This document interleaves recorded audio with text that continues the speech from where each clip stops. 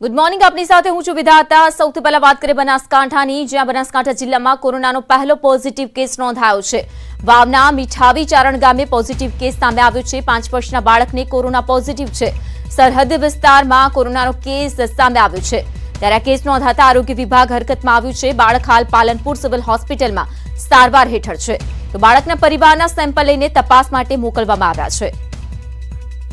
તો બનાસકાંઠા જિલ્લામાં કોરોનાનો પહેલો કેસ પોઝિટિવ સામે આવ્યો છે જેમાં પાંચ વર્ષના બાળકને કોરોના પોઝિટિવ આવ્યો છે આ અંગે વધુ માહિતી આપશે સંવાદદાતા આનંદ આનંદ જે પ્રકારે પહેલો કેસ છે અને તે પણ બાળકમાં કોરોનાના લક્ષણો દેખાતા પોઝિટિવ સામે આવ્યો છે આખું રિપોર્ટ ત્યારે આ અંગેની હાલમાં શું વધુ તપાસ થઈ રહી છે શું કામગીરી થઈ રહી છે અને ડોક્ટર્સનું શું કહેવું છે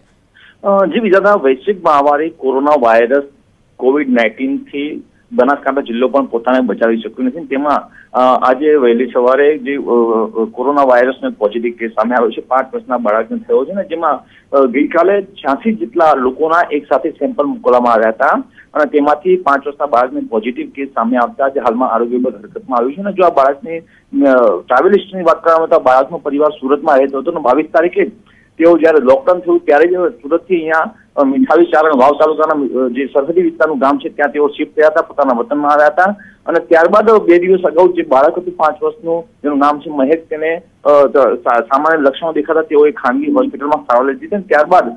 ખાનગી જે હોસ્પિટલના જે તબીબ હતા તેઓને શંકા જતા તેઓને તાત્કાલિક સરકારી હોસ્પિટલ પાલનપુર ખાતે શિફ્ટ કર્યા હતા ને તેના સેમ્પલની તપાસ મોકલ્યા આપવામાં આવ્યા જેમાં કોરોના પોઝિટિવ કેસ આવતા જ હાલમાં આરોગ્ય વિભાગ હરકતમાં આવ્યું છે અને હાલમાં તેની તપાસ ચાલી રહી છે. તેના જે પરિવારના જે સભ્યો છે તેને પણ હાલમાં હોમ ક્વોરન્ટાઇન કરાયા છે. આ સિવાય ત્યાં આરોગ્ય વિભાગે જે આઠ કિલોમીટરના અંતર જે ગામ હતું, એ ગામના આઠ કિલોમીટરના અંતરમાં જે જે ગામડા હતો, ત્યાં પણ સીલિંગ હાલ કરવાની પ્રયાસો ચાલી રહ્યા છે. તેને ક્વોરન્ટાઇન કરવાના પ્રયાસો ચાલી રહ્યા છે.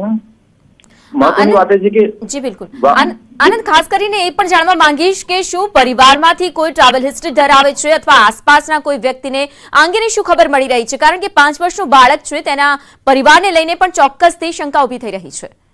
ચોક્કસ હાલમાં આ મામલે આરોગ્ય વિભાગ તપાસ કર્યો છે પરંતુ હાલમાં જે પરિવાર આવ્યો છે તે સુરતથી આવ્યો હતો સુરતથી શિફ્ટ થયો છે હાલમાં અને ખાસ કરીને સરહદી વિસ્તારના જે કેસ આવતા આવ્યો છે તેના કારણે આરોગ્ય વિભાગ પણ હરકતમાં આવ્યું છે આરોગ્ય વિભાગ આ મામલે કડક તપાસ કરી છે કે આ બાળકની જે થયું છે કોરોના પોઝિટિવ તેના પરિવારના સભ્યો કોઈ બહારથી આવેલા લોકોના સંપર્કમાં આવે છે કેમ ક્યાંકથી આવ્યા હતા તે પણ આ મામલે આરોગ્ય વિભાગ હાલમાં તપાસ કરી જી જી આનંદ આભાર તમામ માહિતી બદલ